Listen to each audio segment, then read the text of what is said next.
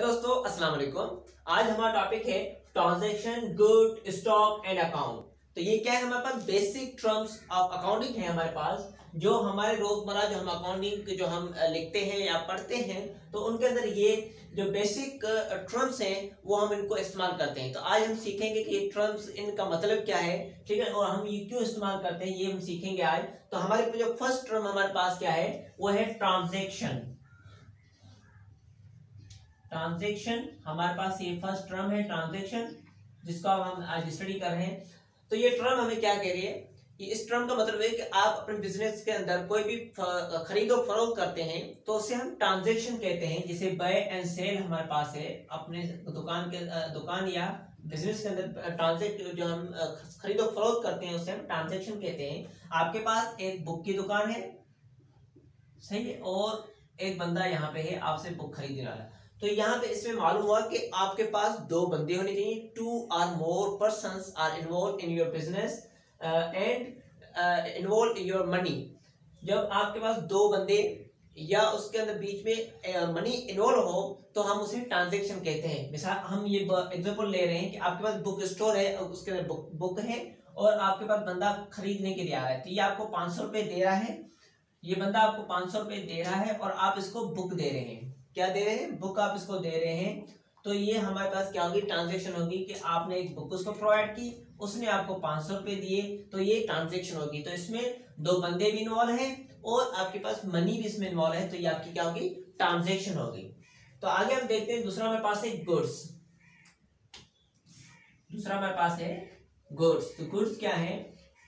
कोई भी चीज़ आप बिज़नेस के अंदर लाते हैं कि हम इसको फरोख कर देंगे तो हम उसे क्या कहते हैं? गुड्स कहते हैं। एनीथिंग कोई भी चीज़ जो आप बेचने के पर्पस के लिए लाते हैं तो हम उसे गुड्स कहते हैं। मिसाल के तौर पर आपके, यही मिसाल लेते हैं, आपके पास बुक है, आपने प्रेस वाले से एक हज़ार बुक खरीद की, सही है? तो ये आपके, और आपने उनमें से आठ सौ बुक बेच दी, ठीक है? आपने एक हज़ार बुक खरीद की किससे? प्रेस वाले से। प्रेस वाले से आपने एक हज़ार बुक खरीद की और उसमें से आपने आठ सौ बुक बेच दी। तो ये हमारे पास जो आठ सौ आपने बुक, हज़ार जो बुक आपने खरीद की, ये आपके पास क्या है? गुड्स है, क्योंकि आपने इसको बेचने के नियत से खरीदा है। तो इसे हम गुड्स कहते हैं। उसके बाद हमारे पास है स्टॉक। तो स्टॉक क्या है? स्टॉक हमारे पास जो बिज़नेस के अंदर जो हमारे पास स्टोर चीज़ें होती हैं, उसे हम स्टॉक कहते हैं। स्टोर मीन्स आपने क्या किया? यही एग्ज़ाम्पल ले लेते हैं कि आपने प्रेस वाले से हज़ार बुक खरीदी, उसमें से 800 आपने बेच दी, बाकी कितनी बची है हमारे पास? हमारे पास स्टॉक में कितनी है? स्टॉक हमारे पास स्टॉक कितना है? अब दो सौ रुपये दो सौ बुक्स का स्टॉक है। तो ये आपके स्टॉक हो गया कि आपने हज़ार बुक खरीदी, आठ सौ बेच दी, बाकी बकाए जो आपके बिज़नेस के अंदर बकाए जो पड़ी है बुक्स पड़ी है, वो हम क्या कहते हैं, ये हमारा आपके पास स्टॉक है। या इससे आप इन्वेंट्री भी कह सकते हैं। इस स्टॉक को हम इन्वेंट्री भी कहते हैं, जो आपके बकाया, जो आपके अंदर जो बिज़नेस के अंदर चीज़ें पड़ी हुई है सेल करने के लिए, वो आपके पास इन्वेंट्री हो जाएगी। ठीक है लास्ट हमारे पास है अकाउंट अकाउंट क्या है हमारे पास? हम ये जानते हैं लास्ट हमारे पास है अकाउंट अकाउंट से हमारे पास जो आपको बिज़नेस की डिटेल प्रोवाइड करता है। कि आपके बिज़नेस के अंदर आया, क्या आया? और क्या गया? तो हाँ ये डिटेल प्रोवाइड करे तो उसे हम अकाउंट कहते हैं, ठीक है? अकाउंट अकाउंट कहते हैं, जिसे आपके पास कैसे कैसे आपको इंफॉर्मेशन प्रोवाइड करेगा? आपने प्रेस वाले से एक हज़ार बुक खरीदी, सही है? और आपने सेल कितनी की? आठ सौ सेल कर दी है। और बकाया आपके पास स्टॉक कितना है?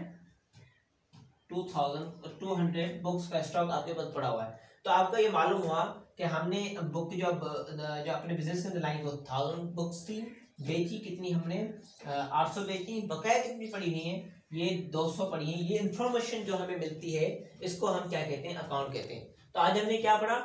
ट्रांजेक्शन पड़ी जो आपको जो है खरीदो फरोख्त करते हैं, दो बंदों के बीच में उसमें मनी इन्वॉल्व हो तो उसे हम ट्रांजेक्शन कहते हैं। गुड्स जो आप एनीथिंग आप जो बेचने के पर्पस के लिए लाते हैं अपने बिज़नेस के अंदर तो हम उसे गुड्स कहते हैं। स्टॉक क्या है? जो चीज़ें आपके अंदर जो सेल करने के लिए चीज़ें पड़ी हुई हैं, हम आपके स्टॉक के अंदर बिज़नेस के अंदर तो हम उसे स्टॉक या स्टॉक कहते हैं। जैसे हमने आपको एग्ज़ाम्पल दिया, उसके बाद हमारे पास लास्ट है अकाउंट जो अकाउंट क्या है, जो आपको पूरे बिज़नेस की डिटेल प्रोवाइड करे, उसे हम क्या कहते हैं? अकाउंट कहते हैं, जिसे हम आपको एग्जांपल दी। तो इस तरह हमारे और भी जो है टर्म्स हैं, वो दूसरी वीडियो के अंदर हम स्टडी करेंगे। तो फ़िलहाल ये हमारे पास चार हैं। ये बेसिक अकाउंटिंग टर्म्स हैं, जो हम आगे भी कुछ और भी हमारे पास जो बेसिक अकाउंटिंग टर्म्स हैं, वो भी हम अगली वीडियो के अंदर आपके लिए लाएँगे।